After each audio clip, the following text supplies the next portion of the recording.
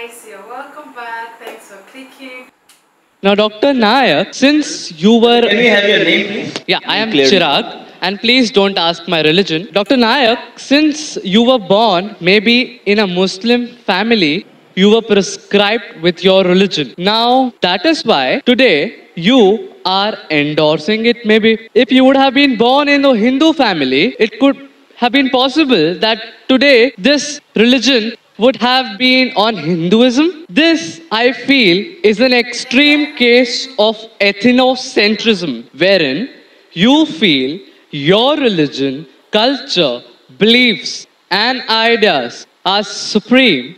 That is why you said that Sikhism or Arya Samaj or whatever religion that abandons idol worship is supported by you too. According to me, we should be discussing a larger religion of humanity and not keep juggling here. Any comments or oh, Brother justifications, sir? Very good question. Brother, I agree with you.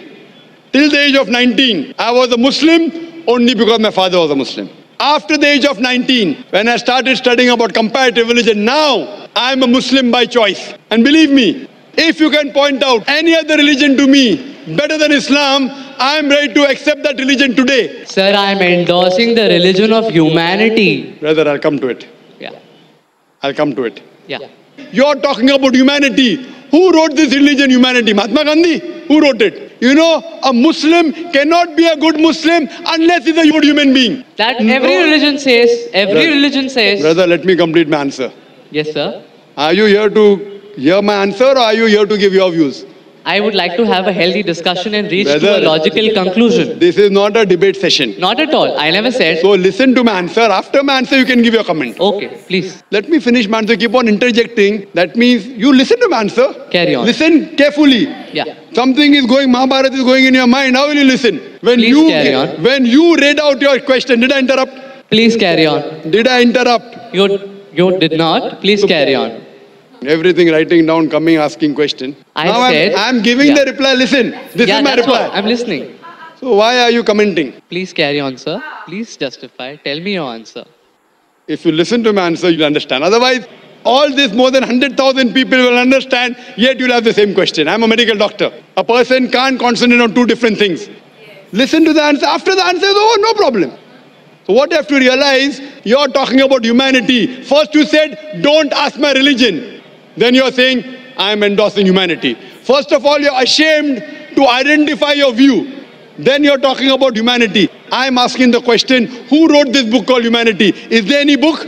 Is there any guidelines of humanity? I'm telling you, a Muslim cannot be a Muslim until he's a good human being. Every religion doesn't say that. I'm sorry to say that. You have not studied the other religions. I can give a talk. I can give you quotations from the Vedas, quotation from Hindu scriptures, quotation from the Bible, which goes against humanity. I'm not here to criticize any religion. If you have not studied any religion, please don't say anything which you have no knowledge of. Quran says, "Fas'alu ahl zikri in la ta'lamun." Surah Nahl chapter 16 verse 43, Surah Anbiya chapter 21 verse number 7. You are not a student of comparative religion, so please don't make comments without knowing. I can give you quotations from the Bible against humanity. I challenge you to point out a single verse of the Quran or single teaching of Prophet Muhammad, peace be upon him, which is against humanity. So don't tell me every religion says that. Sorry, your knowledge is very weak. What I'm trying to tell you, humanity means, okay, you're in standard two. I'm talking about not only passing school, not only graduation, you have to become postgraduate. Islam means higher level. Only humanity is low level. No Muslim can be a good Muslim unless he's a good human. I challenge you to point out a single teaching of Islam which is against humanity.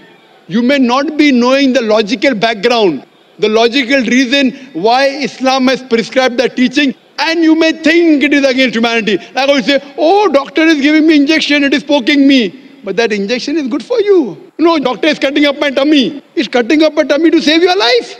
So doctor knows, you don't know. If I have two choices, okay, passing standard two or three or doing post-graduation, I would prefer post-graduation. My only standard two and three? Humanity is good. But Islam is far superior than that. Regarding your question, I am endorsing Islam because I was born in a Muslim family. I told you, I challenge you. If anyone proves to me any other religion, I've studied most of the major religions, and I think Islam is the most logical, the best religion for humanity. It is the only religion which has the solution for humanity. Allah says in Surah Al Imran, chapter number 3, verse number 19, Inna Dina in the Islam. The only religion acceptable in the sight of Almighty God is Islam. And for your information, your argument is so weak. Do you know out of more than 30 scholars that we have from different parts of the world, more than 10, they were not born in a Muslim family. Do you know that? I'd like you to answer this question. Do you know that out of 30 people speaking from the stage, more than 10, they were not born Muslim. Do you know that?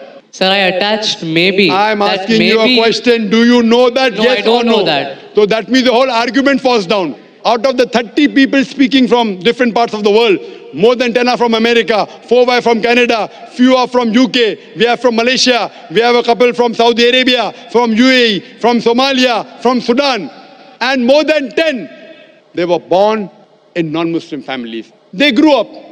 Some accepted Islam in the teenage, some accepted Islam in the 20s, some in 30s, and Allah gave them hidayah. They are Muslims by choice. So your logic that because we are born in Muslim family, therefore I'm endorsing. These people weren't born in Muslim family. They were born in Christian family. They were born in non-Muslim family. Yet they're endorsing Islam. Why? Because they have studied. They have studied other religions and they found Islam is the best way of life. What I request you, you study humanity and study Islam. And try and find out what point in Islam is against humanity. Then you'll come to know that the best religion, I'm not asking a religion, I'm asking you to accept the best religion. And the best way of life, the only solution for humanity is Islam. Wow, that was beautiful. So his question was all about humanity. Well, like Zakir Naik said, Islam talks about humanity. There are some religions too that talks about humanity, but I think Islam shows more of humanitarian services than other religions. I think so. And the, the man was so aggressive. I don't know. You want to ask a question and they said that he is telling us, don't ask me my religion. And at the end of the day, we got to know your religion through the question. And the reason why he likes to talk about Islam is because that is his religion. He knows a lot about his religion. He believes in it. He knows the God serving. So that's why he keep preaching about his religion. That's why I said he was born as a Muslim. And he, even though you are born as a Muslim or you are born into a particular religion, it's not left for the person to say, oh, I want to stick to this religion forever or I want to switch. It's by choice, like the way he said it. So all these things that he's saying humanitarian self, this question was not like me. I, I, what was the man expecting? Him asking that why is that exactly I like to talk about Islam is that is is normal. It's a normal thing. Just imagine like I don't know where the aggression was coming from. Maybe it was like nice said some words that actually put him off and it was interjecting. Please stop. I'm listening. Please why? You want to listen, you listen. But that was a beautiful one for Zakir Naik and I really enjoyed watching. Thank you so much for watching. I'll see you in the next one. Bye.